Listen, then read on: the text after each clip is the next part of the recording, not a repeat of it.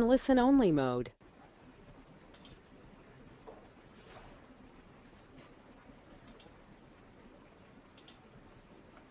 Good afternoon, Good afternoon and welcome to today's webinar, webinar on measuring the quality of HR services. Our Our presenter, presenter today is Paul Walsh and I will, and I will hand over to him to him to, I'll hand over you to him in a moment. Um, Um, our webinar, our webinar is under the banner of HR Observer, Observers and and just to tell just you to tell you a little bit about it, the HR, the HR Observer is an initiative, initiative of Informa Middle East and is aimed and at is aimed at becoming a platform for HR professionals in the professionals in the Middle Middle East Middle East to exchange insights and expertise. This features, This features a blog, a a LinkedIn, LinkedIn Twitter group, Twitter feed, and, and online online webinars, webinars to feed, um, as well um, as well as informal networking functions. A few A housekeeping, few housekeeping tips for you.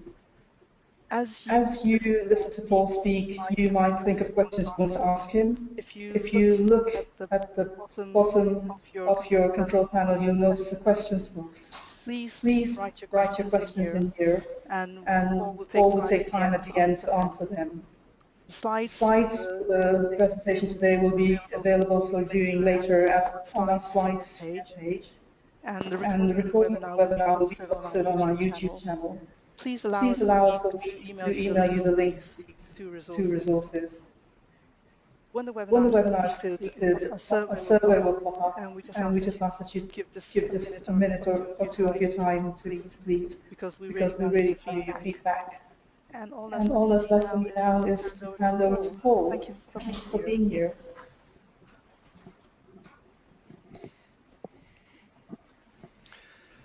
Hello. Hello, good afternoon, everybody. If you're If you're actually actually listening to this listening to this later good evening. good evening.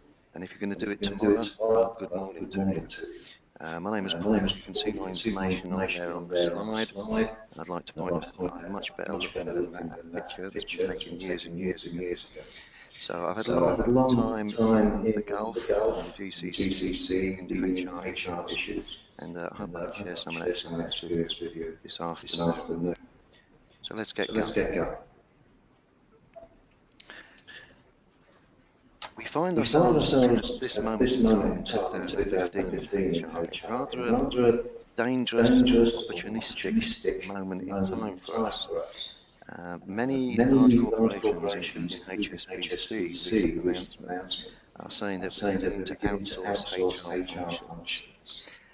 Uh, this could be an this could be an opportunity opportunity for HR, but it also it also a could be a dangerous. We have to look at to look at why large large corporations and corporations indeed small and medium-sized medium-sized companies companies are beginning to think, should we should we outsource outsource HR? HR? In many Many companies, of companies, recruitment has been outsourced to outsourced to agencies for some agencies for time, some even time, it's even only a it's only a partial outsourcing. outsourcing. Payroll, Payroll commonly, has been outsourced outsourced to various various companies. companies. And we have to look And at we have to why this is why this is happening. Human Human resources resources is in the middle in the middle of a a giant, giant, dangerous sandwich at sandwich moment, at the if you like. if you like. At the top of the the top of the sandwich, at the top of the top of the organisation, more and more and more executives, vice executives, vice presidents, and uh, directors directors are asking the question, what value value is HR actually to the bringing to the company? Yes, we know Yes, you recruit people, we know you train people, where's the value? Where's the value? added the added value from what you're actually doing? And furthermore, at the bottom of the sandwich that we seem to be seem to be trapped in is our customers, our wonderful employees, are not too happy with the service that we're Are we looking after them correctly? Are we giving them the correct them support that they need? Are we looking after looking their after their work-life work-life balance? And just basically giving them a good, supportive, environmentally motivational environment for them to them work. So that's why I want to why I want focus this webinar today on our service rather than our function. I would like to start with a slide.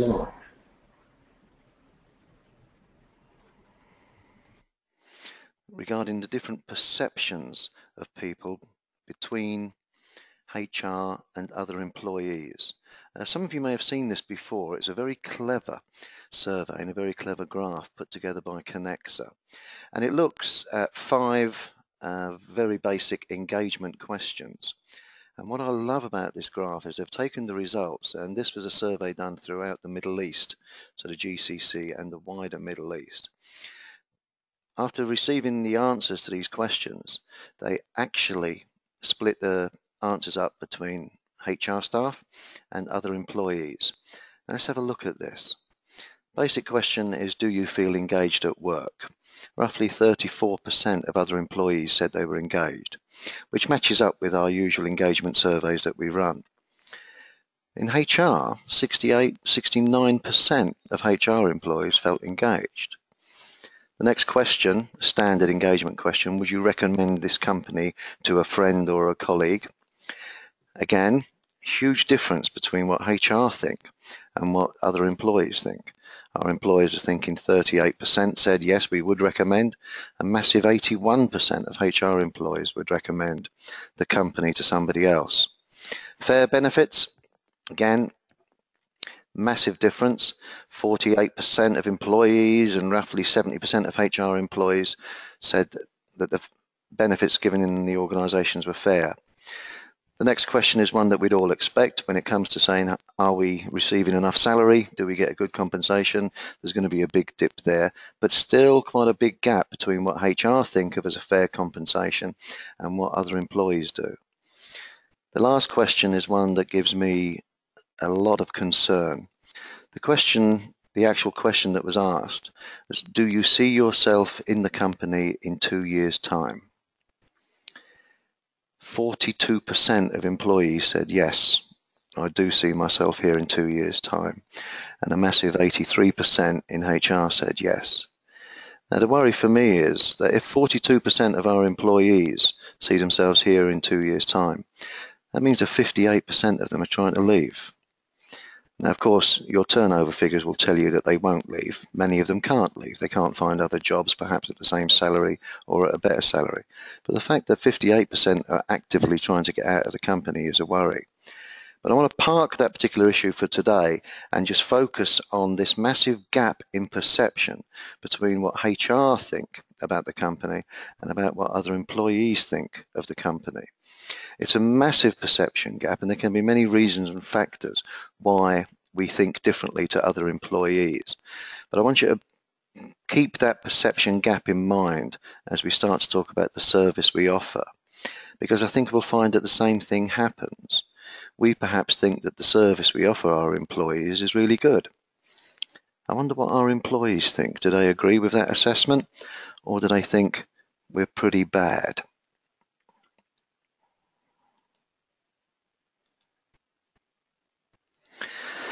So what I'm going to talk about is something called service gaps. I mean, you may have bumped into this kind of thing. It's the same theory that we use in customer service or customer experience.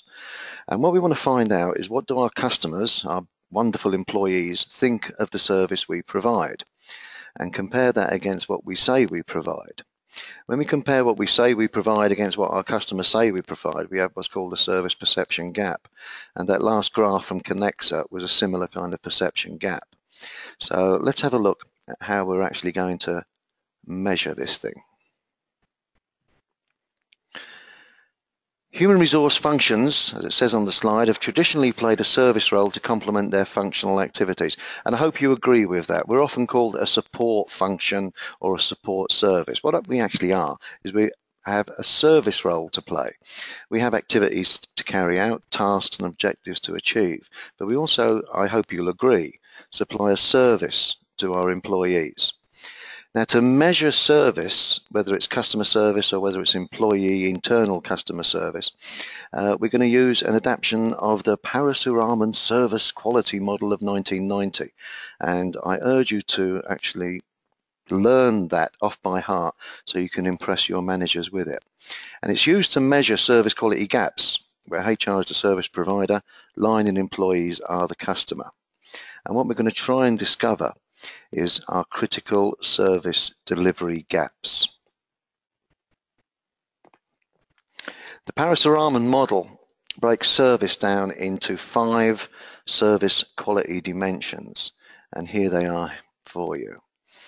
And if you ever go to a restaurant nowadays or take your car in for a service or visit a hotel, they'll probably give you a little uh, customer service questionnaire to answer. And if you have a look or if you remember what they are all about, you'll probably recognize these service quality dimensions. The first thing that any service provider wants to know is, you know, what do we look like? What's our ambience? Do we look professional? So we look at the tangibles and appearance. What's it like in HR? Do we have good professional equipment in there? Do we look and feel professional when we communicate with our employees or with the organization as a whole? Again, is that a professional form of communication? Does it look and feel good, in other words, the tangible of the service? The next part of the uh, service quality dimension is reliability. So we need to try and measure whether or not our functions and our service that we give is given dependably and the information that we give our employees is accurate, stuff that they can use. The third one is quite an important one. Are we willing to help our employees and provide prompt service? Some of you now are beginning to think, well, Paul, this is a little objective, isn't it? What does a prompt actually mean? But I'm afraid when we talk about customer service or even employee service or internal customer service, it does become a little subjective because beauty is in the eye of the beholder. What one person will think of as prompt service, somebody else may think it's rather tardy or late. But that's what we have to put up with when we're trying to support our employees. The fourth dimension, assurance. Do our HR staff have the correct knowledge and are they courteous to, H, uh, to our employees when they visit or call? In other words, do our HR staff inspire trust and confidence amongst employees? And the last dimension is empathy. Does HR treat its employees as individuals or do we treat them like numbers? I often ask the question when we do this in seminars, uh, which of these is the most important? And again, it probably depends on the customer themselves. But surprisingly, in all the surveys that have been done worldwide, whether it's customer or HR, uh, the actual professional part of it, the tangibles and the appearance, are not important at all to customers. They don't really care that we've got ergodynamic desks or 17 inch flat screens uh, for our computers. They don't really care about that stuff. What they really do care about is do we give them accurate information and do we provide prompt service? And to go back to the Kenexa perception uh, graph again, sometimes we think we're doing a good job. Sometimes we follow a process and we follow it 100% at a time. I run a course here with Informa called the HR Audit, where we actually do audit HR functions. And it is surprising how many times that we look at a process and find that HR do actually follow the process very well. But when we ask our customers what they think of that process, they think it's awful, they think it's rubbish. And a common example that comes up is the service we provide our customers, our employees, with uh, a certificate of salary, a salary certificate. Now think for a moment why an employee would ask HR for a salary certificate. It's for a credit card or it's for a mortgage or it's for a car loan. An employee is about to get himself or herself in debt and they need a salary certificate from HR. How long does it take you to provide that service? Now, some of you out there will say, well, we have HRMS, so they just go onto their self-service part of, of HRMS and they print the certificate themselves. Good for you if that's the case. But most companies will say, well, it depends what it's for. Some banks will ask for an actual written signature. And if anybody needs a written signature, it has to go to HR. So think, have we got empathy with the employee in this service? Think to yourself, if you ever had the uh, opportunity, if you've ever had the experience of buying a new car, how long does it take you to choose a new car? The answer is probably around a month by the time you've shopped around, negotiated, chosen the various models, done test drives. But after that one month, you suddenly decide this is the car I want. And I hope you've all chosen a Ford Explorer. The salesman turns around to you, you make the deal, you shake hands, and the salesman actually says to you, I've just checked our stock. We have the, your car in stock. We can bring it down from our warehouse or our car park tomorrow, polish it up, you can drive it away tomorrow afternoon. That makes us very excited, that makes us very keen, enthusiastic. And the salesman says, all I need is a salary certificate. So we phone HR or we send HR an email and get a reply that our service level agreement for a salary certificate is three days. Now you will be saying, what's wrong with that? The employer will be saying, that's absolute rubbish. That's really, really bad service. And you will reply, well, that's our process. That's our service level agreement. We do it when we're supposed to. We take three days. It says three days. We're doing what we're supposed to be doing. But I hope you'll agree with me that it is an awful rubbish service. Yes, it follows the process. Yes, it's in line with your policy. But does your customer enjoy it? No, not at all. It's terrible.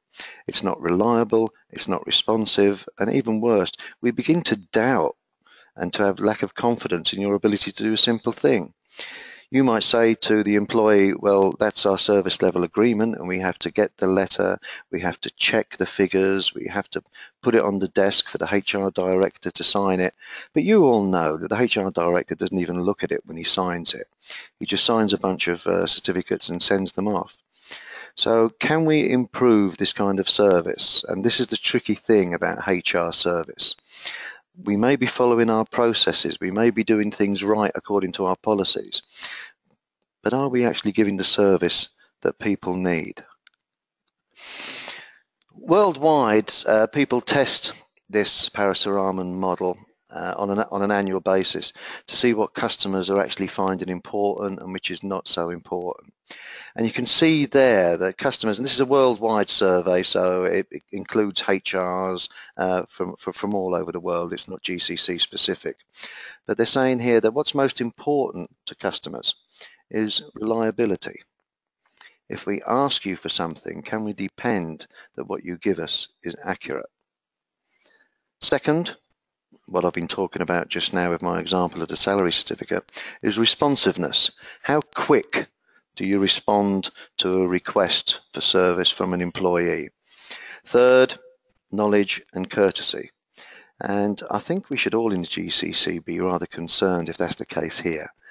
I mean, have a, have a look yourself. How do you treat an employee when he or she comes into HR? Do we jump up to greet them? Are they left waiting? Are they ignored? When an employee rings HR helpline, how many rings does it take before somebody actually picks it up? When we do pick the phone up, is it the right person who's picking up the phone with the knowledge to answer the employee? And you know, how do you answer the phone? Do you welcome the employee or do you just say, what's up? How are the people treated? Empathy comes fourth with 18%. And as I said in my earlier example, the actual tangibles, the overall appearance of physical facilities, our 17 inch screens, our ergodynamic desks, our nice plants mean very little to people. And it's something, unfortunately, we spend a lot of time looking at. So how do we do it? It's called a service audit, and it's actually, as you'd expect, it's a questionnaire. It's a survey using a questionnaire. And I want you to keep this very, very simple. Some of you may now be thinking, okay, we can use Survey Monkey or Monkey Survey, there's two of them out there, to actually conduct this uh, kind of questionnaire. Uh, as I said at the bottom of this slide, I urge you to go old school with this. People, employees in particular, do not trust online surveys. They do not believe that the information they give is kept confidential. So what I actually suggest is that we go old school, Word document, print it out, 10 questions, and ask 10 questions, general questions, two for each of the five dimensions. So two questions around tangibles, two questions around reliability, and so on. Again, keep this very, very simple indeed. Please don't ask employees to describe a situation when or to give comments. You know that nobody fills up these kind of questionnaires. So keep it nice and simple. A simple you know, yes, no answer. Or if you want to, you can use the Likert scale, one to five. You know, one, I agree strongly with this statement, or five, I do not agree, whatever. And also when we go old school, what I always do when I hold these service audits, as they're called, or service surveys, is to actually take the paper down to the department myself. Walk into department, with 100 questionnaires, put a big box on a table, and to ask the employees to take out three or four minutes to fill in the questionnaires, and when they're finished, throw them in the box. I don't give space for employees to put their name. I don't ask them for their payroll number or any information at all that can identify them. Just 10 questions on a piece of paper with yes or no or a one to five scale. I usually do this in the morning, around about half past nine, 10 o'clock, and then I come back at half past three and find that nobody's done it.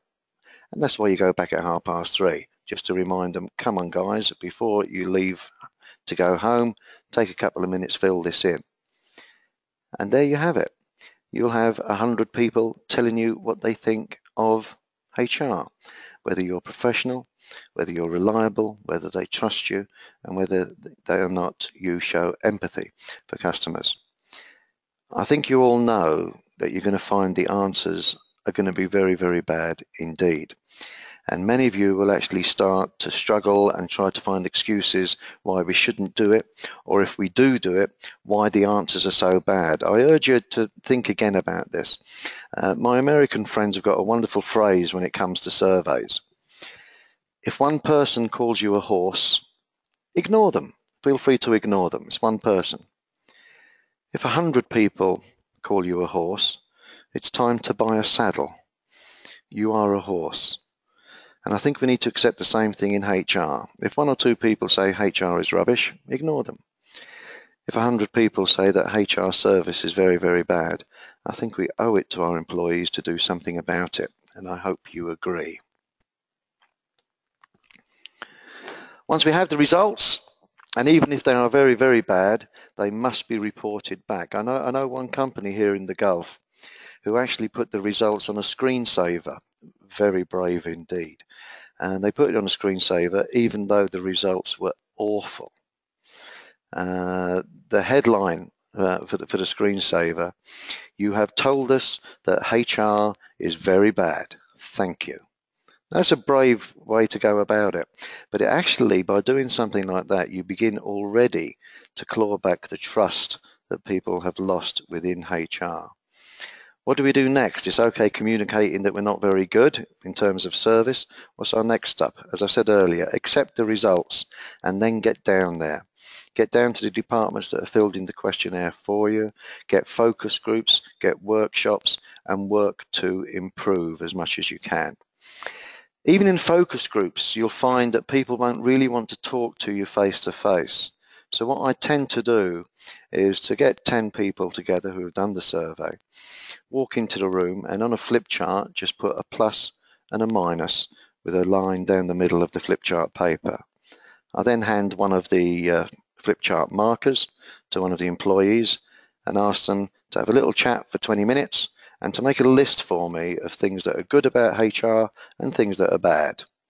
I then leave the room have a nice cup of coffee, answer some emails, and 20 minutes later return to the room to find there's very little on the positive side and a big list on the negative side. And then we can get to work. We can start to improve what we have. Those of you who have perhaps attended my courses will uh, see this kind of thing all the time. Um, do we need to change in HR? Yes. Does change necessarily lead to improvement? Well, the answer is no, it doesn't. As you all know, change can sometimes make things absolutely worse. Uh, many of you out there will have been through a large reorganization that ended up in uh, quite a chaotic situation for many people. So the thing we have to grasp in HR is that just making a change doesn't necessarily lead to improvement. But what I want you to think about is the thing down the bottom there. If we want to improve, we've got to change. Now, I think you all do want to improve. In fact, sometimes managers ask the wrong question. If you ask a group of employees, do you want to change? The answer will be, no, no, we're okay, we're doing okay, leave us alone. If you ask the question, do you want to improve? They will say, yes, of course. And then you can say to them, well, how can you actually improve without changing? Because nothing improves by itself nothing in this world, nothing in life will ever actually get better unless you make some kind of change to it. So if we want to improve our service to our employees, and I hope you agree with me that we do, then something has to change. What is it that has to change? I don't know. It could be that thing that we all talk about, attitude, and there's certainly something to be said for that. But within each of your separate companies, it'll be something different. Collect the results of the surveys from your employees, see what they find most important. Is it a trust issue? Is it confidence? Is it accuracy? Is it promptness of service? And then we have to make changes to the way we do things. In some cases, we may have to actually change our processes to make them speedier or more accurate. We have to do something.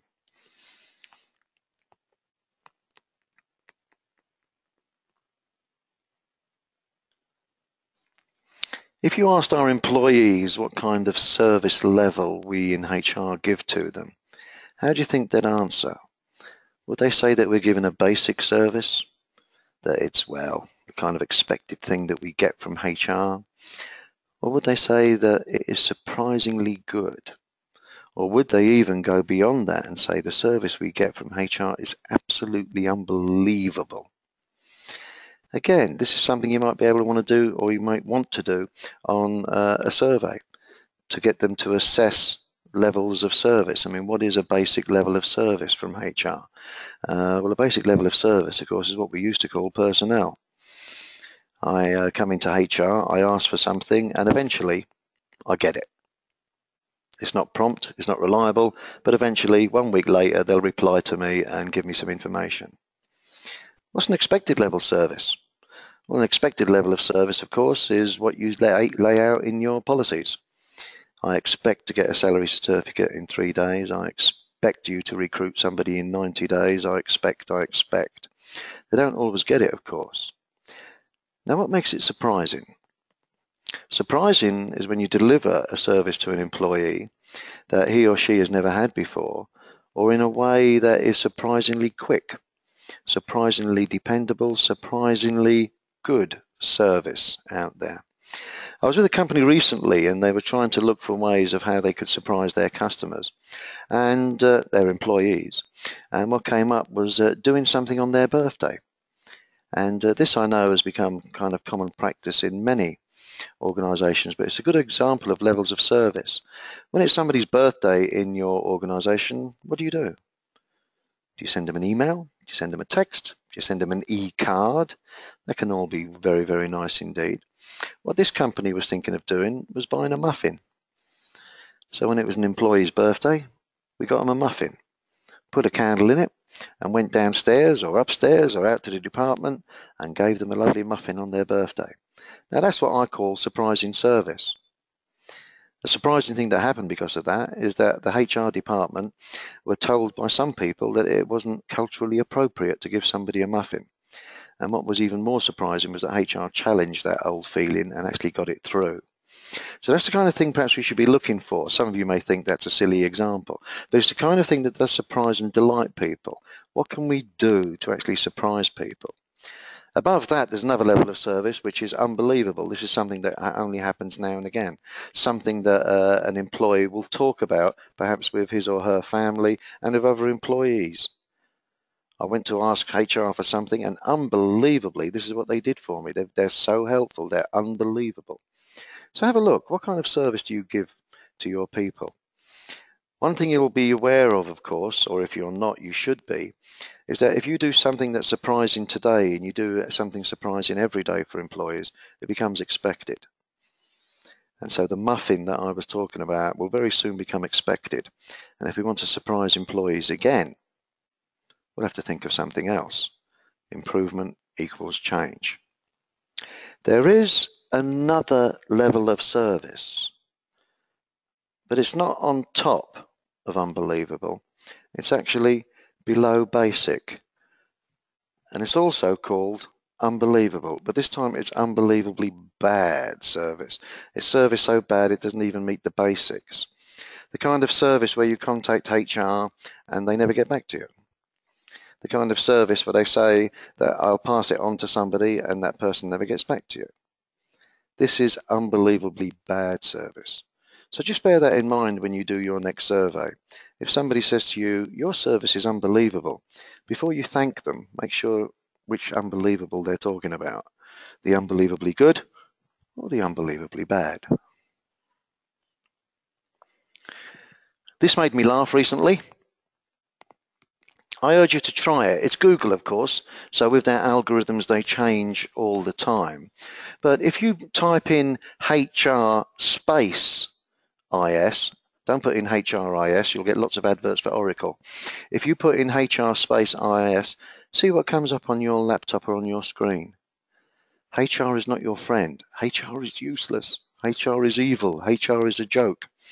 Uh, I listed this out. I took a screenshot of it. This was done uh, a couple of months ago because at the bottom of the list that Google was showing me at the time, the one that we want to be, is HR is a strategic partner. I'm not saying this is a, a validated scientific uh, survey of what people think about HR, uh, but it's certainly what people are looking for or typing into Google up there. So I say it changes on a daily basis because of algorithms, but you try it. It'll uh, hopefully make you laugh, but more important than that, actually get you to start thinking, we need to change this perception of HR. I urge you to be brave enough to print this slide out on A3 paper and stick it on the front of the door to HR. Hello employees, welcome to HR and thank you for paying our salaries. I've got a feeling some of you might be switching off the uh, webinar at this stage, but please stay with me. It's important. The guys who come into HR are the guys who are earning revenue in the company, cutting costs in the company, meeting productivity and sales targets, and actually bringing in the money. They're the people who pay our salaries. What we have to do is change the way we treat our employees. Even if we're treating them well at the moment, let's treat them better. What we need to do is have this kind of attitude with everybody in HR. Our employees who come in, who annoy us sometimes, who come in at the wrong times when we're busy, who expect us to do the unexpected, these guys pay our salaries. It's why we're there. We're there to support them. So I urge you, do a service audit, take the time to do this questionnaire, find out what they think of us, and then do something to change the way that we give this service to our employees. That's it from me. I'm willing and able, hopefully, to answer any questions that you may have.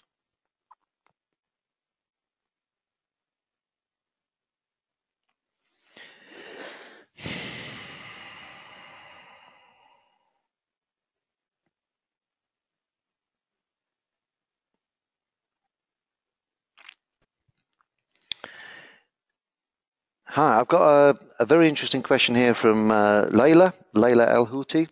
She says, Hi, Paul. Please give us examples of HR metrics that we have to consider to measure our service level. Uh, very good question, Layla.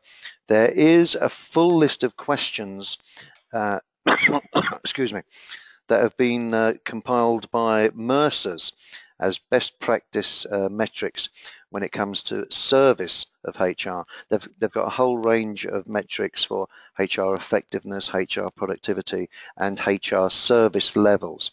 Unfortunately, Layla and others, I don't have that slide with me, but what I'll do, I'll send it over to Cherie at the end of this uh, webinar, and she can put it in with the pack uh, to go there. Uh, some of them are pretty, uh, pretty, pretty basic stuff, but there, there is a best practice list that will be part of the pack at the end of the uh, webinar. Thank you.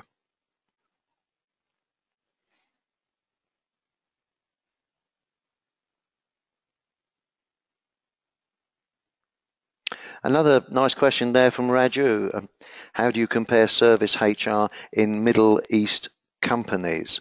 Uh, once again, Raju, I'm, I'm, I'm coming up short here. I've never seen a breakdown. I've seen various global surveys that have taken place.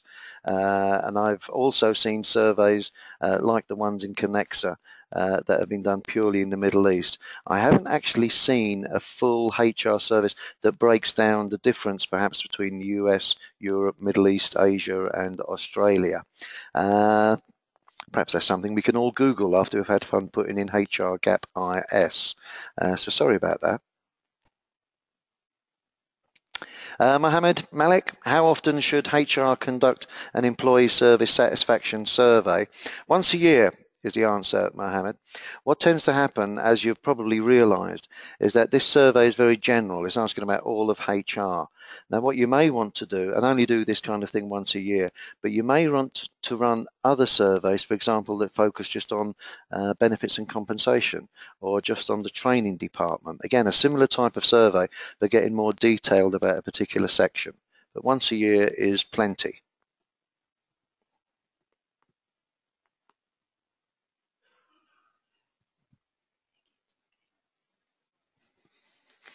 Uh, uh, we seem to be running out of questions. Has anybody else got any other questions for us?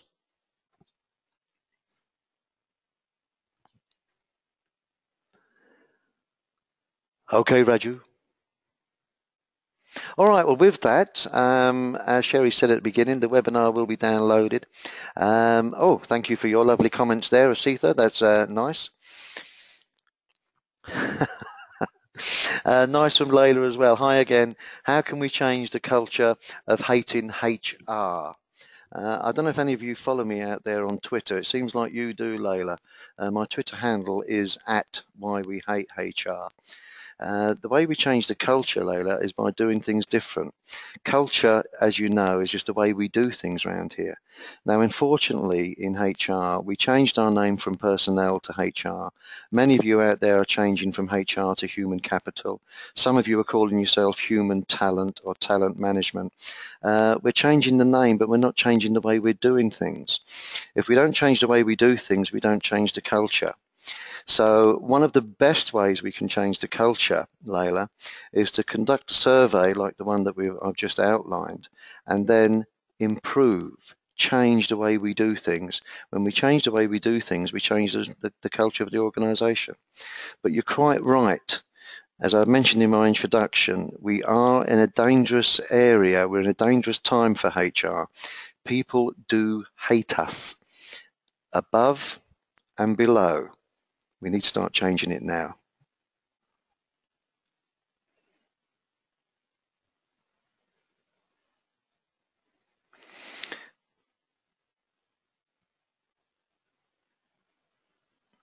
Another very good question. My, you guys are bright today. A good question here from Asama. Is the level of attrition an indication of HR service? Off the top of my head, Asama, I would say no. Uh, turnover, people leaving our organization, although we could be a, a factor within that, the fact that they feel we're not doing well. If you analyze your exit interviews, you'll find that most people are leaving because they've got bad bullying bosses. One thing we are linked with, it's usually the second reason, the second biggest reason why people leave, is that there's no career development within the organization or people feel they're not being developed. Now, I think we have to take our share of responsibility uh, for that, although it is generally the line managers who are responsible for it. So I would say our level of service as uh, a factor or a contributory factor to attrition would be very small. But some of the things that we do or do or should do, like looking after performance management and career development, could actually be a bigger factor in uh, attrition, as you call it, or turnover. Magdalene Sammy, hello there, good afternoon. Asks to change the culture, sorry, can we apply the same kind of surveys for other functions? Yes, of course we can. Uh, this can be done in any other function at all. It's, it's the actual survey or the dimensions I mentioned are ones used by virtually every customer service organization in the world. They'll have different questions, of course, but they stick to this format of measuring tangibles, reliability, accuracy, and so on. So yes, you can use it in marketing, finance, operations, and as I said, if you have a very large HR department, you may want to do one just for the recruitment section, just for training, just for payroll, etc. Ah, Asitha, to change the culture, we have to change from the top. I mean CEO level. There is absolutely no doubt that the CEO and the top team have got a lot to do when it comes to leading from the front. But I also don't believe that we should leave it to them or wait for them to change first. We're all part of the culture, Asitha, so we need to do our bit whether or not other people aren't doing theirs. And perhaps we could be the leader in this. Perhaps we could be a role model for changing culture. Afan, I've been waiting for this question, well done. Afan, Sheikh, who asks, how good HR service will help the business bottom line? It all depends, Afan, how much you believe in Maslow and the hierarchy of needs. Maslow basically says that if somebody is feeling esteem, somebody feels nice at work, they'll be more productive. If we're giving good service to our employees, that will certainly motivate them. If we're looking after them and supporting them, they'll feel better, they'll be more motivated, they'll be more productive, and that will hit the bottom line.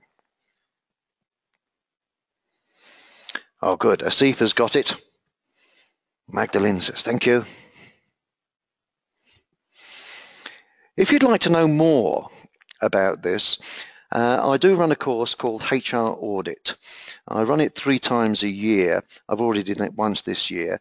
If you log on to Informa, they'll give you the dates. Uh, as well as looking at the HR service audit, we also look at how we actually do a functional audit, looking at making sure our process and our policies are correct. We also look at compliance in terms of other things we do in legal, and we have a quick look also at a financial audit. So if you're really interested in this kind of thing, I look forward to seeing you towards the end of the year after Ramadan and Eid. Okay, thank you very much for your attention. I enjoyed your questions. Uh, hope to see you at the next one. Bye.